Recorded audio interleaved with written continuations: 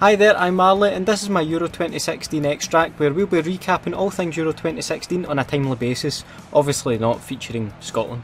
Wales were the first home nation to play at the tournament and this guy I'd keep an eye on, he's quite up and coming. Gareth Bale smashed in a free kick to give Wales the lead against Slovakia. Aye it was in the middle of the goal your dad might say, but I'd like to see him hit a ball like that. Slovakia did equalise and threatened to spoil the occasion but Robson Kanu made it two, Wales saw it through and Wales won the game. Yeah. In the same group England were up next and Hull, nail laughing at the back.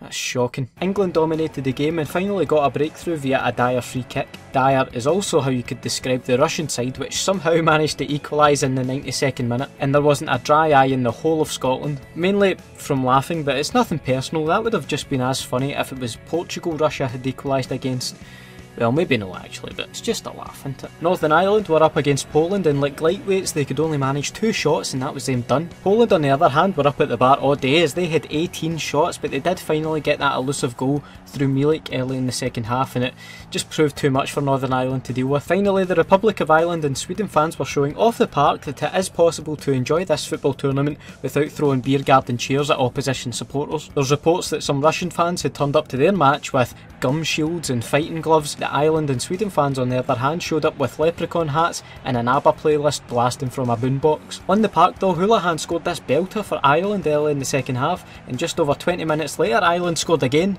into their own goal through Clark and more ABBA commenced in the Sweden end no doubt. The winner takes it all but that didn't happen here because it ended a draw so they both get a point each, that's how it works. There's been a few crackers scored in this tournament already and Payet didn't waste much time scoring this belter at the end of the very first match for France. And Luka Modric also scored a really nice goal, it was a, an amazing looping volley against Turkey which was too good to even recreate. I'll have you know, there's been some rather odd sightings so far in the tournament, none other than Germany manager Joachim Löw going for the old scratch and sniff on global television. And he was at it again, picking his bum on global television. This guy is a serial offender when it comes to this sort of thing. He's also been caught in the past picking his nose and eating it on global. Ah, you get the point. Then again, he is a World Cup winning manager, so does he really care what people think of him? Italy's legendary goalkeeper Buffon was also caught running the full length of the pitch to celebrate by swinging on the crossbar in front of the Italian fans, and then falling off of it. Probably just as weird as the last two was Harry Kane taking corners for England, which got Twitter into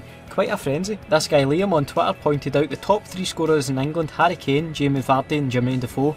One was taking corners, one is on the bench, and the other is at home watching the tournament. In fact, that is actually weirder than the Germany manager touching his private bits during the match. And finally, on the last of the matchday one games, Gary Lineker and Alan Shearer had a bit of da banter on Twitter. Gary Lineker making fun of Alan Shearer's baldness, and then Alan Shearer gets stuck into Gary Lineker's ears. Anyway, that's all for today. Thanks a lot for watching. I hope you've enjoyed the video. I've been Marley, and I'll catch you later. Bye.